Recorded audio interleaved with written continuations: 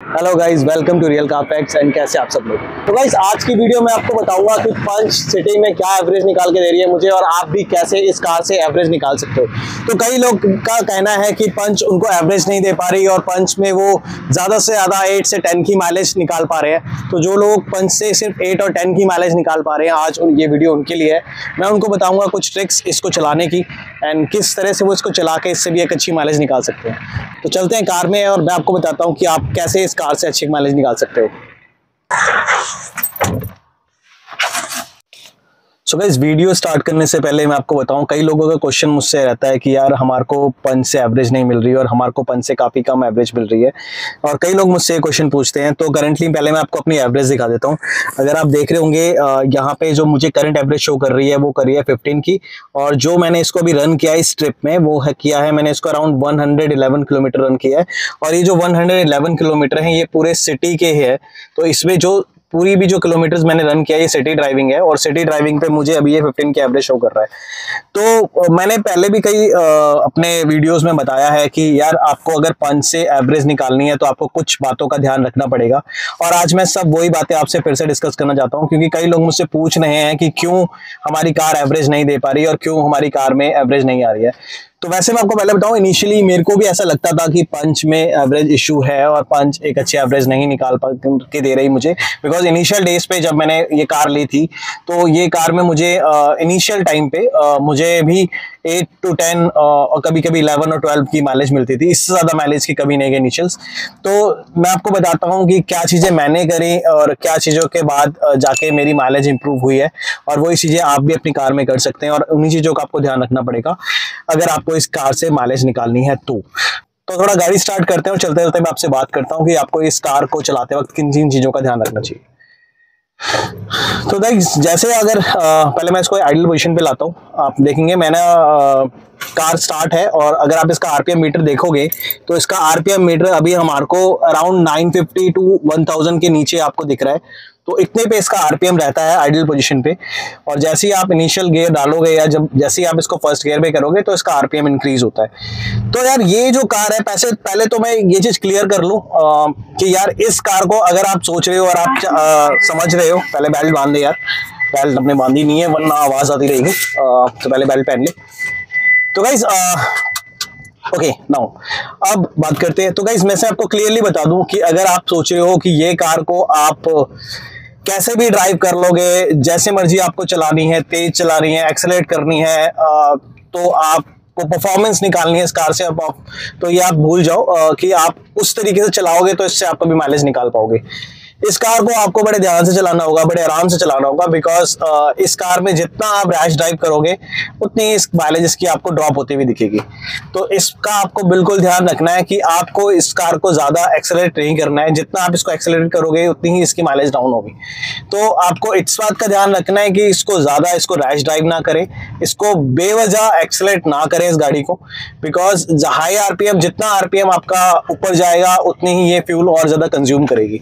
तो इन चीज़ों का हमारे को ध्यान रखना है। आपको ट्राई करना है, कोशिश करनी है कि आप जितना कम हो सके गियर शिफ्ट करें, जितना बिकॉज़ कई लोग क्या करते हैं यार, जैसे नॉर्मली लोग क्या करते हैं, उन्हें दिख रहा है आगे रेड लाइट है, आगे उन्हें रुकना है बट फिर भी वो अपनी स्पीड उतनी ही रखते हैं मेंटेन करते हैं स्पीड ड्रॉप नहीं करते और इन्हीं फिर ब्रेक लगाते हैं एंड देन फिर उसी टाइप से उनका एक ड्राइविंग पैटर्न बन जाता है। तो अगर आपका एक ड्राइविंग पैटर्न उस तरीके का है तो फिर इससे माइलेज निकालना आपके लिए मुश्किल हो जाएगा।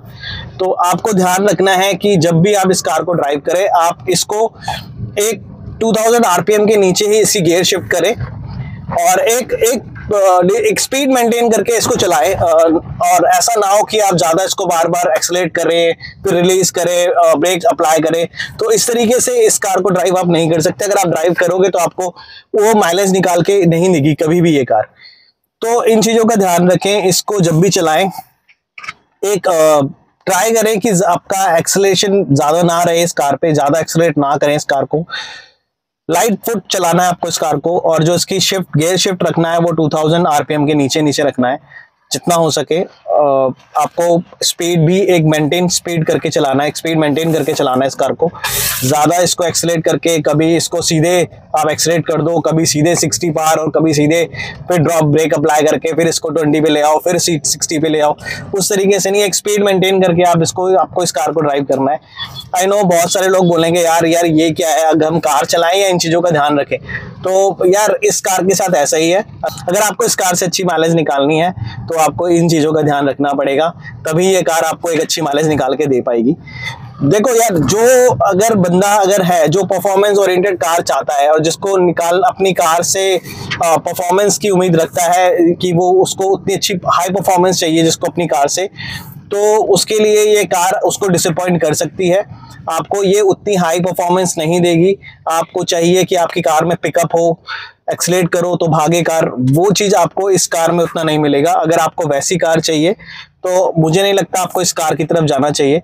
हाँ अगर आप एक नॉर्मल वे में कार ड्राइव करते हो ज़्यादा एक्सलेट नहीं करते कार को सिक्सटी uh, सेवेंटी uh, के बीच में सिटीज़ में ट्राई करते हो और अगर आप हाईवे में जाते हो तो अराउंड 80 टू 100 के बीच में आप ड्राइव करना पसंद करते हो तो आप ऑब्वियसली इस कार की तरफ़ जा सकते हो, ये आपको अच्छा माइलेज निकाल के देगी। अगर आप लाइट फुट कार चलाते हो, आप एक ज़्यादा कार को एक्सलेट नहीं करते, एक डिसेंट तरीके से कार चलाते हो तो ये कार आपको एवरेज के मामले में परेशान नहीं करेगी। जैसे आपने मेरी पहले वीडियोस में भी देखा होगा, जैसे मैंने इसका टैंक टू टैंक टेस्ट भी किया था, उन वीडियोस में भी आपने देखा होगा, इसने मुझे हाईवेज में भी 21 प्लस माइलेज निकाल के दिया था। अब लोग कहेंगे, यार, इसके एमआईडी पे मत जाओ फिफ्टीन आपको शो कर रहा है एम पे एमआईडी पे मत जाओ। मैंने इसका टैंक टू टैंक माइलेज भी टेस्ट किया है और आपको मैंने दिखाया है कि इसके एमआईडी और टैंक टू टैंक माइलेज में कितना डिफरेंस आ रहा है। तो आप उसी बेसिस पे मैं आपको बता रहा हूँ कि इसके एमआईडी और टैंक टू टैंक में ज़्यादा डिफरेंस नहीं है। तो जो इसका एमआईडी में शो करता है, वो काफ़ी एक्चुअल माइलेज शो करता है। अगर किसी को डाउट है तो लिंक बटन पे आप जाके वो वीडियो चेक कर सकते हो। उसमें आपका डाउट क्लियर हो जाएँगे कि इसके एमआईडी और एक्चुअल माइलेज में कितना डिफरेंस आता है। तो गाइज़ यही कुछ पॉइंट है जिसका आपको ध्यान रखना पड़ेगा। एक इसमें इंस्टेंट फ्यूल इकोनॉमी का एक ग्राफ आता है, अब एक बार आता है जो आप देख रहे होंगे नीचे सामने। तो इस बार का क्या यार, जितना ये बार फुल रहेगा, आपकी कार उतना अच्छा इकोनॉमी निकालेगी इस गाड़ी से। तो जितना ट्राई करेंगे और आप ध्यान देना, कभी भी आप जब इसको एक्सलेट करोगे इस कार को तो ये बाहर आपको नीचे जाते हुए दिखाई देगा। तो इसका यही है, जितना ये बाहर आपका ऊपर रहेगा, उतनी ही गाड़ी आपका अच्छा इकोनॉमी निकालेगी। ज़रूरत से ज़्यादा एक्सेलेशन नहीं करना इस कार को। तो यही कुछ पॉइंट है, इसका आप ध्यान रखोगे तो आप इस कार से एक डिसेंट माइलेज निकाल सकते हो।